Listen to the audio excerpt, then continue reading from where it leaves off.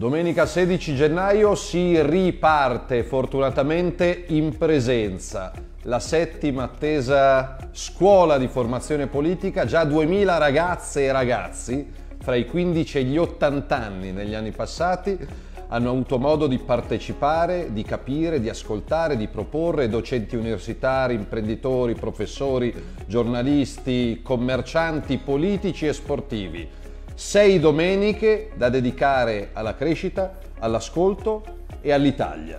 Quindi tante di queste persone sono diventate consigliere comunali, sindaci, amministratori locali, penso, conosco, creo, gli argomenti sono tanti, dall'ambiente alla sanità, all'economia, al fisco, alla Costituzione, alla comunicazione politica, da domenica 16 gennaio.